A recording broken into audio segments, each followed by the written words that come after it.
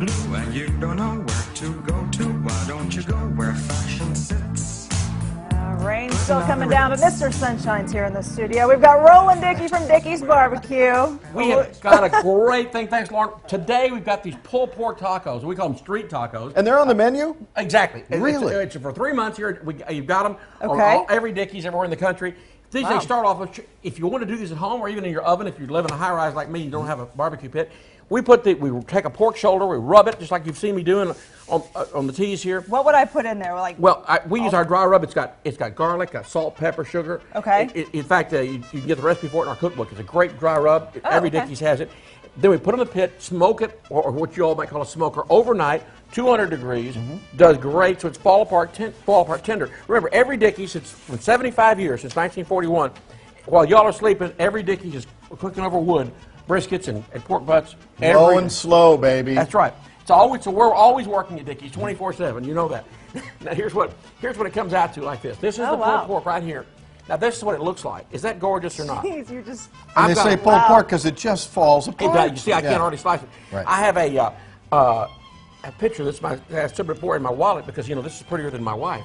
So I have this in there. I took Oh, that hey, out of watch out. it. I'm going to stand up for her. Now look at that. Oh, Now, now hold this, Tim. Look, Yes. Now, look, now put a little of this coleslaw on it. wow. Right, right. Right, and then here's the barbecue sauce. That's how So this why works. the change? Why, why the why the little tacos? Well, we do we do different specials. We have we call them limited time offers. We do it every year. There's some kind of a sandwich, some kind of taco, some kind of Yeah. something, and we do it every time. We do it for 90 days. Sometimes it's so popular that we uh, keep it in the menu forever. Like Oh, like this really? sausage. My son invented this sausage. It was supposed to be an LTO also. So he invented this Uh-huh. sausage. You see, that has jalapenos and cheese in it. Oh. My son invented this. It, only he's ever done in his life is invent this sausage. But that was enough. that, was- that was enough. I'll. We, we sold millions Just enough to keep him on the payroll for a while. millions and millions of dollars worth. So of you went to week. somebody and said, "Make this for us," or do you guys actually make it in the store? You, you have somebody who we- makes we it have for someone makes it for us. Right. That's right. Wow. We make it for us. My son invented this sausage, Roland Jr., and it's a great product. In Mm. fact, it's even about 400 Kroger's now Mm-hmm. up north, and, and uh, Oh, uh, what do you call it, Walmart's, things like that. It's a great sausage. But anyway, we these pulled pork tacos, you're going to love them, and of course we make them overnight. We cook them overnight, make them as you come in and order them, and they're just a great, great. Oh, thing. yeah. And- This is if I had a friend, which I don't, Tim. But if I, if I did. had, I would tell him to Oh, get one of you these. got I- one. well, you know, I, I, I want a friend. I told Big Mama, my wife, I said, I don't. Have, she said, go get a friend. I said, so went and bought a dog.